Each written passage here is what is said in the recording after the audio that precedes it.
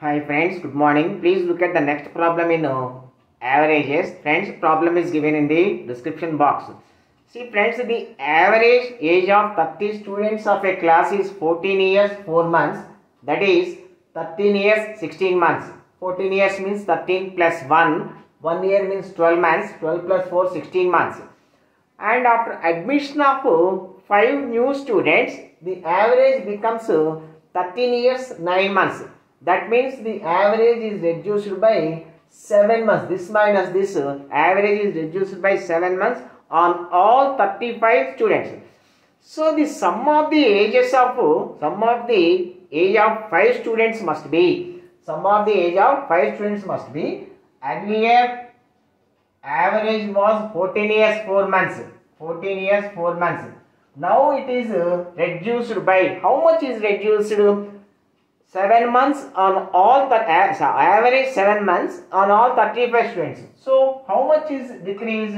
35 into 7 so 5 14s 70 years. 5 4s 20 months. 7 35s uh, 245 months. This is equal to 70 years 20 months. Minus 245 months means uh, 20 years 5 months. 20 years 5 months. so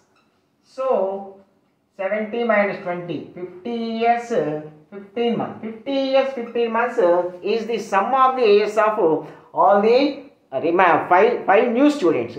So in this uh, the age of the youngest the age of the youngest is equal to 9 years 11 months. 9 years 11 months. So the sum of the remaining four sum of the remaining four is equal to 41 years 4 months and average average is equal to by 4 so 10 years 4 10s 40 1 year remains. 1 year means 12 months 12 plus 4 16 months. 16 by 4 means uh, 4 months. So 10 years 4 months uh, is the average of the remaining 4 students friends. Thank you